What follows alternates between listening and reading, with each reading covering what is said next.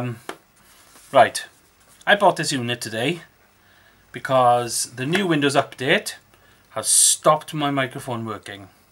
Now, I had an old sound card, I know, but I wanted something to replace it.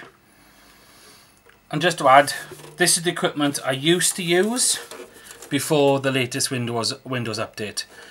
The latest Windows update made this piece of equipment here, which is my Creative X-Fi unit, um, which had everything I needed on it, including microphones and stuff like that for making game capturing brilliant.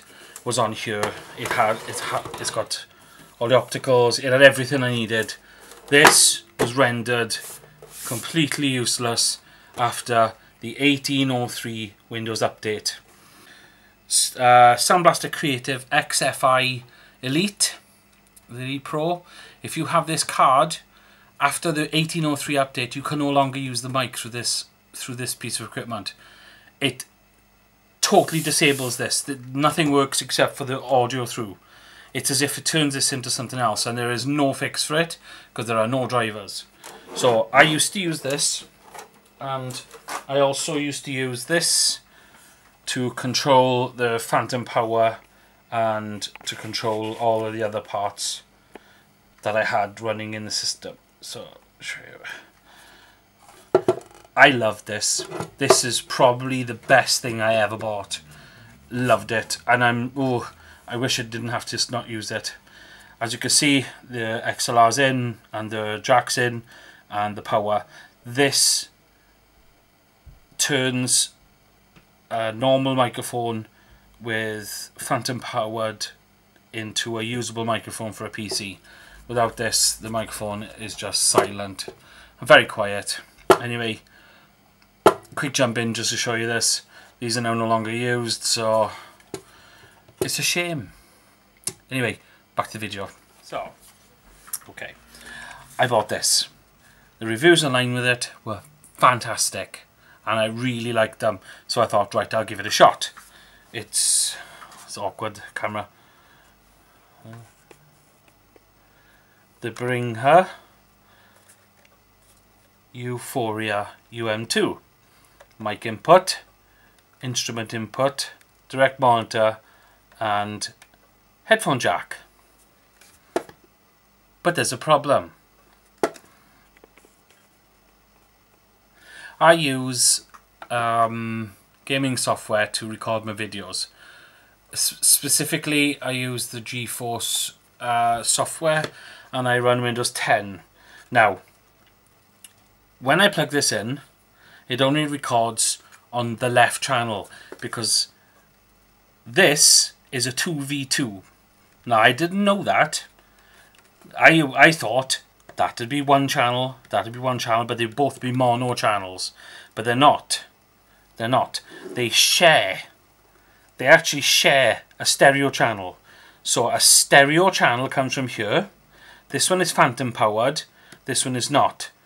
But the internals are connected and they share a channel.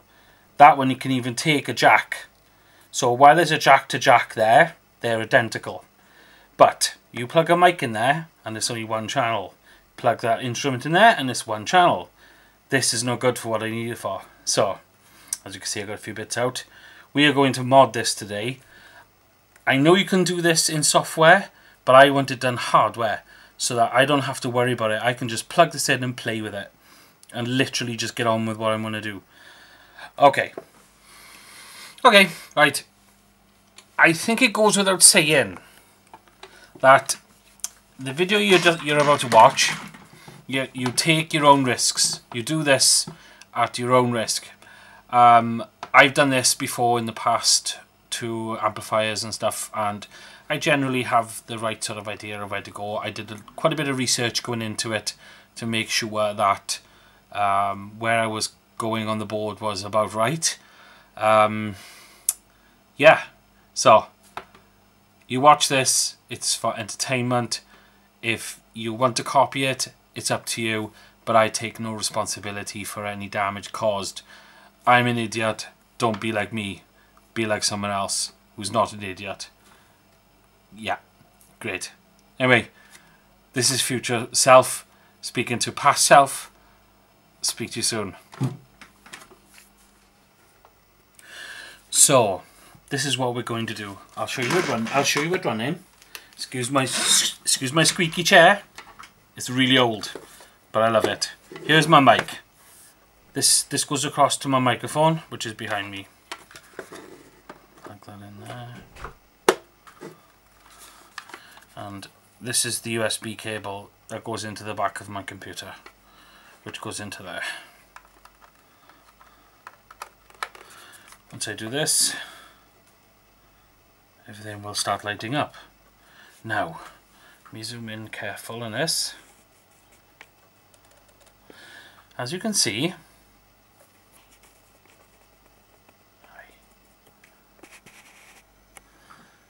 the power light is on, just about see. And the 48 volt phantom power is on. Right. So if I if I turn my mic up, can you see it? The signal is clip and clip on this side. So it's hard to see because of the light, but there we are. One, two, one, two. So it doesn't happen on the other side. One, two, one, two. Now, I'll do a little recording of that later to let you know what it looks, what it sounds like. One, two. One, two. One, two. This this is the test of the mic before modding. Oh, out of focus. It looks better. Look, see, one, two, but not this side. One, two. Right.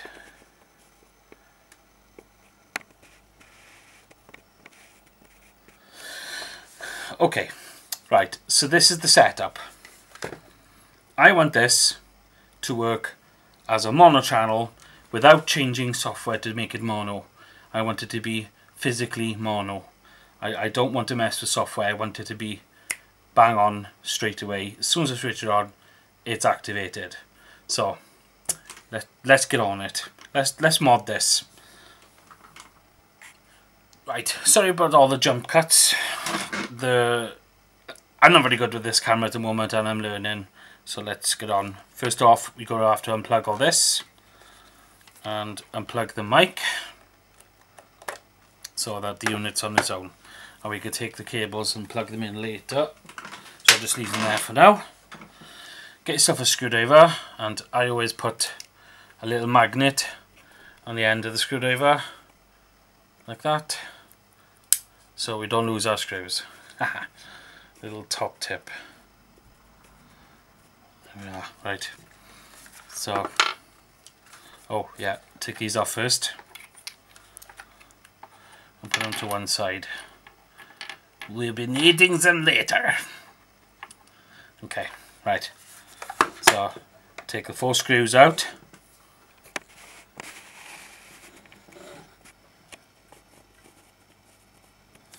Take the four screws out of there and then I'll come back. Okay, so the four screws are out. So the unit now hasn't got the things on the top and it hasn't got the screws. So little bit more room. Now the unit cracks apart like this. So be careful of this one because there's a clip in it. So you have to like wingle and wangle it and it will unclip like that. But you gotta be careful because you don't want to break that clip. That's it. And it just falls apart into a few pieces. All plastic, but uh, what do we expect? It's not going to be any different really. So this is the unit. Uh, close him out.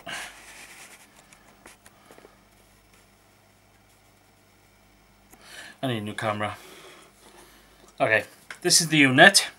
Now, as we can see here, we have all our inputs, and this is the bypass. Now, if we take a look underneath here, we can see that the audio jack here is a multi-jack and it shares a phantom power supply.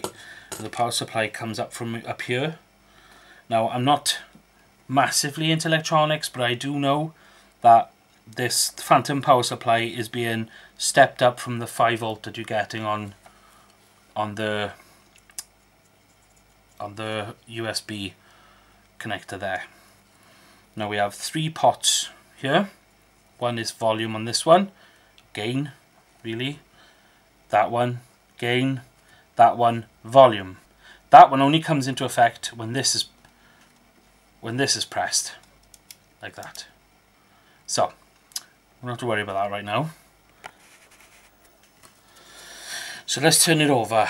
Now, after doing a bit of investigation on this and checking up on a few things, uh, looking up how some things are wired and some are not, it's fairly, fairly easy. Now you've got the three lines of pots there.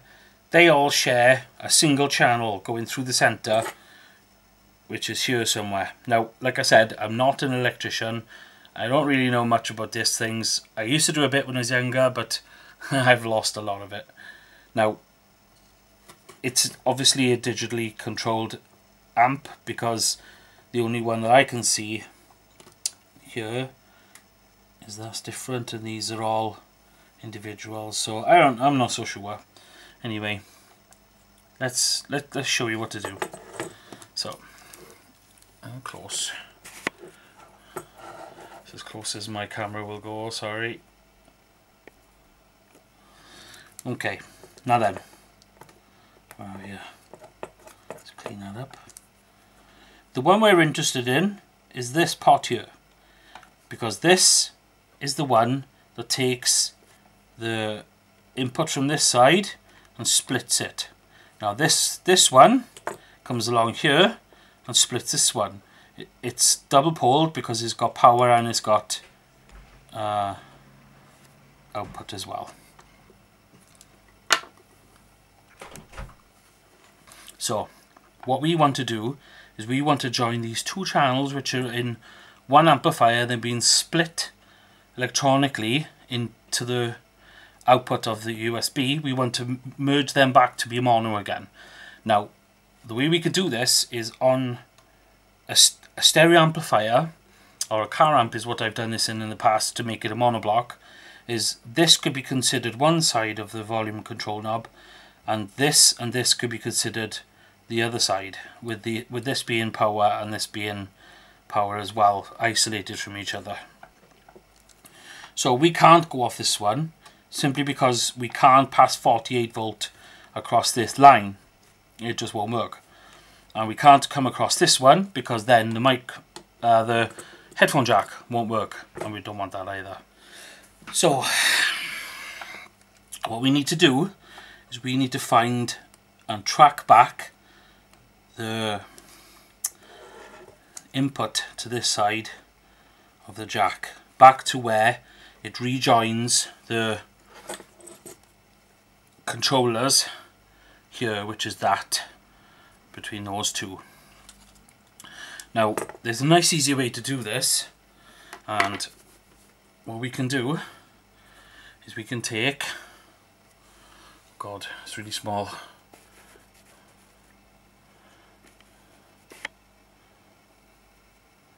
This resistor, which is I think yellow, black, brown, gold. I'm not very good with the colours, so let's meter it.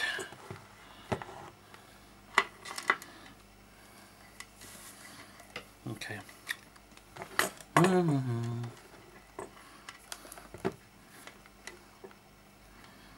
Right.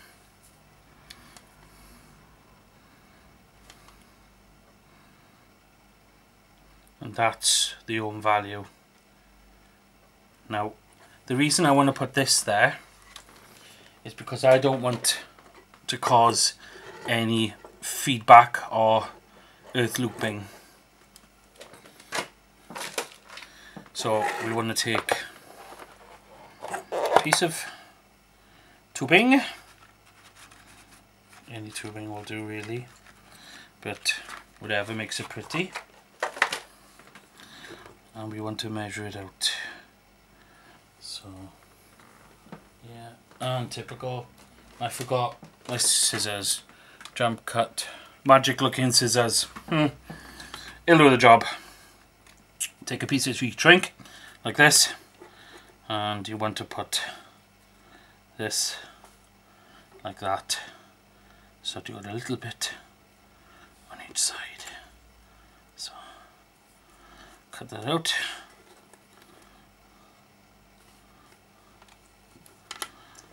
Like that. Want to put that all the way in there? And I want to heat this up. Yes I know. Not supposed to use lighters. Mind, does the job.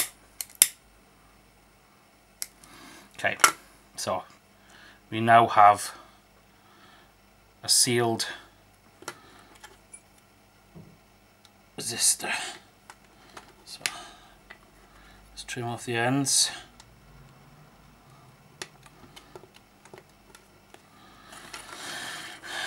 Okay.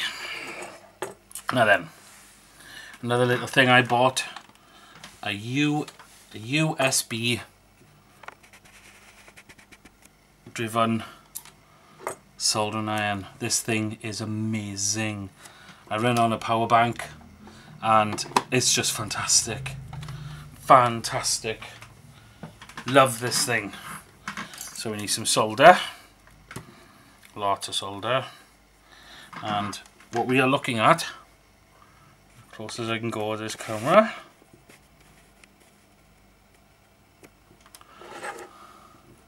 Is this point here, there, that one. What we want to do is get the soldering to work. Tiny bit of solder there. Only tiny.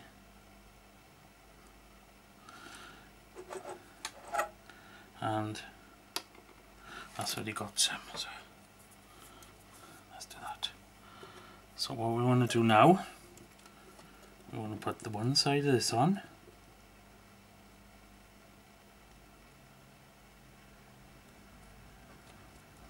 Oh, soldering line's gone off.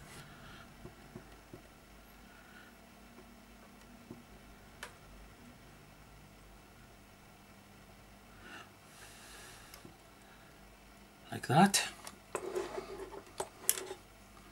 And we want to take this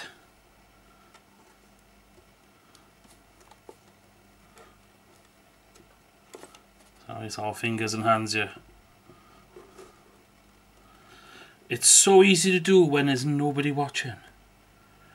Yet it's so hard to do when everyone is.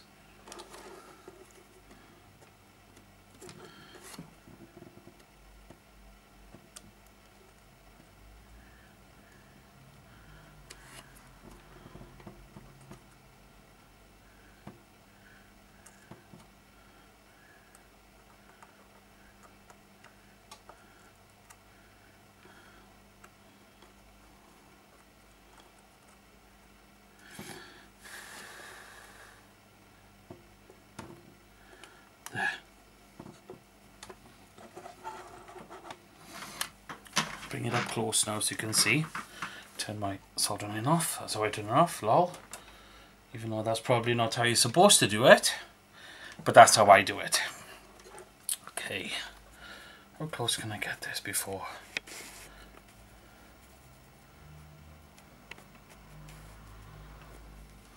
So if you look, I've gone from there, which goes through the wire to the feed resistor, which is there,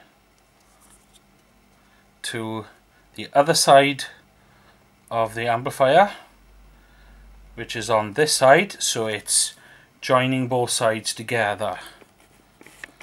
Now, let's let's test this now and see if this works. It's a really simple mod. It's ridiculously simple. It's so easy. It's ridiculous. And, it, and this will not affect the audio quality. Yes, you could technically push these up too far now because now these are no longer individual input controllers. These are one channel, so they both feed onto each other. So if you have both of these on full, it will give you quite a lot of volume coming out, which will distort and go all over the place. Okay.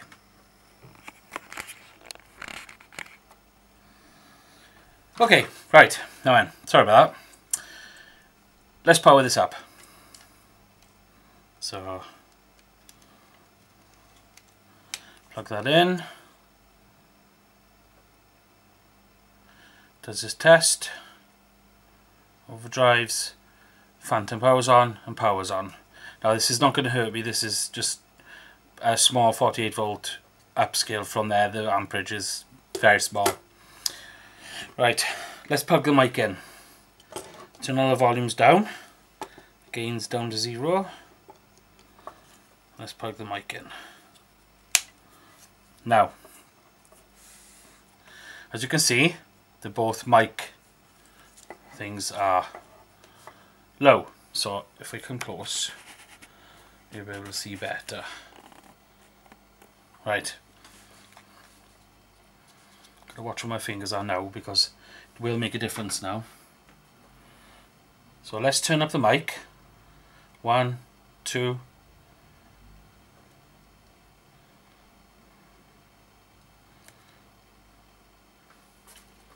Right, now one. Right. One, two, one, two, one. As you can see, it's starting to clip on one side. So we just keep voluming it till we get the same. There, like that. Now then, if one side's too much, we reduce it so that they match. Now it's a stereo input mic. So now no longer do you have to worry about having one channel running through to the computer and having to bridge it to be mono or bridge it in software later or do some post editing. All you have to do is just put it on and it just does the job. And it does not affect the output for the headphone jack, that stays normal and it does not affect the output for the speakers in the back either. They stay the same. Everything stays the same. The only difference is you converted it from one channel to, to a, a twin channel single mic instead of having it as two. Now, as I was saying earlier, you can turn this up too much, as you can with most mics, but it's worse now. So, if I turn it up too much, oh, there, there and it's now all distorted as you can see it's way over and it's volume controllable there and there obviously this this one that controls this one is primary. So it will always be the one that drops them both. But what you need to do is you need to get this one to a good spot. So set your levels with this. One two like that. And then match it with this one until this one obviously gives you the same result on the other side. Just about the same. There. Job done. And that's it. Such a simple mod so simple let me unplug this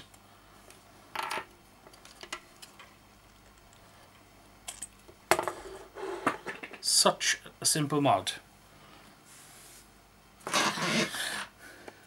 God my chair's so squeaky so all we're going to do now is put it back together again. Just a quick check, just for you to look again. It's nice and safe there now. It's not going to touch anything, it's job done. Right, let's put it back in its box.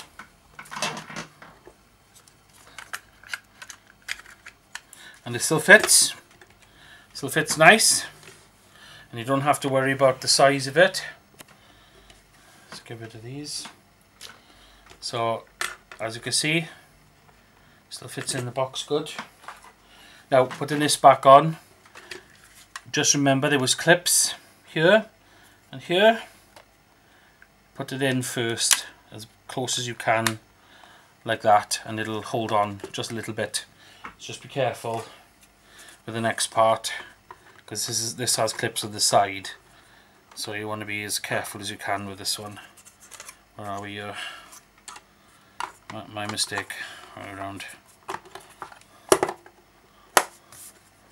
got. Job done and as you can see they're not that far off. Oh. if we put this in here where it should go this one where it should go.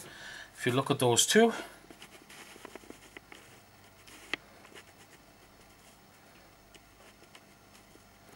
just about see them. The dot is there and the dot is there. They're almost identical showing that the channel is nice and balanced between each other and you don't have to worry about the 48 volts going through and messing anything up. So leave them as they are for a minute. Okay. The screws back.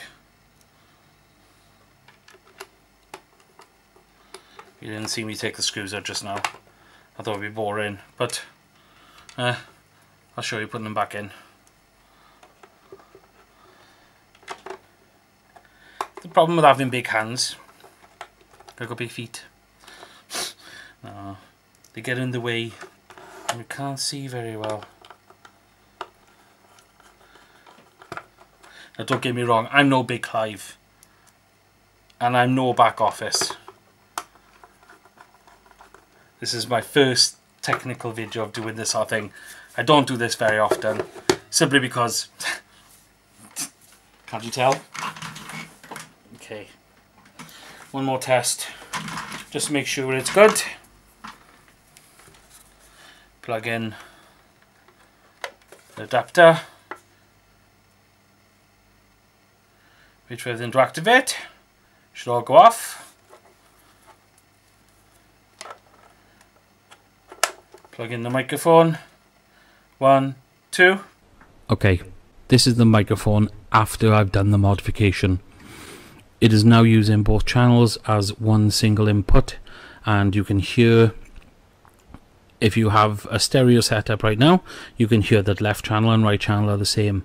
This this is the test of the mic before modding after I've done the modification before modding after I've done the modification.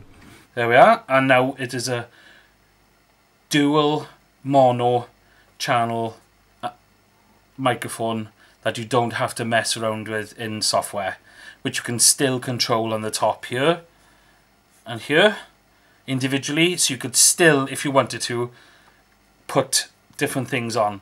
And I'm pretty certain you could take this out and put uh, a jack in there and it would do exactly the same thing for the other side. Because the channels now are connected it doesn't matter which one of these you plug into they'll both take over. I'm not so sure about having both of these used. I generally don't so I only use the one at a time. But this is all I want anyway. The direct monitor will still work the headphones will still work and the outputs here will still output the proper what you get there because another fact is the outputs here are actually the mono version of this we just created but built in. All we done is we tapped into it to make it what they make it that way. So yeah. Anyway that is the Behringer I don't know how do you say that? Behringer the Behringer U-Phoria UM2 modification to make it a single channel one input instead of a 2v2 Anyway, thanks for watching. Sorry if the video was pretty rubbish. I'm not very good at doing these. This is my first one. But number one, number one. So, thank you for watching. And thank you to the people who inspired me to get this done. And thank you to the back office show as well for telling me that I should do one eventually. Here you go. I've done one. Anyway, thanks for watching. Have a nice day. Peace. Yeah.